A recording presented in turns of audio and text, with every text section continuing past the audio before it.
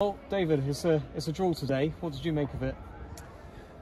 It's a draw. It's a big point. It uh, feels significantly better than than previous games in terms of the result. Uh, it isn't enough from our point of view, but it's um, it's a, a, level that we have to try and compete at, and uh, and we did today. We resisted.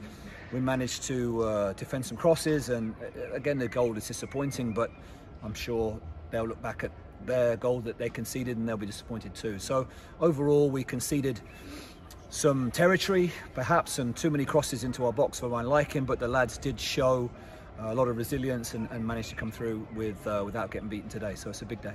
Yeah, real gutsy performance as well. Um, obviously, you mentioned on Saturday that you wanted to see a lot better defensively and not making silly mistakes and things like that. Do you think that was done today in your liking? Yeah, I, I, I think um, I, I don't think we quite well, there's no doubt we're not playing as we all want to play, and, and, and our influence on the game needs to be a little bit more. But in terms of the boys staying together and working hard to get today and, and competing and defending from crosses, albeit at times I felt that we were fortunate, but um, we deserved a little bit of fortune, I think.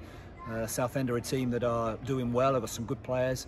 Uh, I think the manager's got them going here, and it's a, it's a good point for us um, going forwards it, it, it's it, it fits into that semi-philosophical feel that I have around these end of games. We need to make sure that we try and show what we want to do, irrespective of the result, making sure that we're working as hard as we can. And uh, and today was uh, uh, a demonstration that the boys are, are trying hard. Talk briefly about the penalty then. Obviously, it was a great save from Ross Fitzsimons, but what did you see of it? Yeah, I didn't see much of it. Apologies. Uh, often I'm not looking at the ball, I'm looking at other things and, and, and where we are positionally or what's happening next and stuff. And I honestly didn't see it, so I, I don't know. What what did you see it?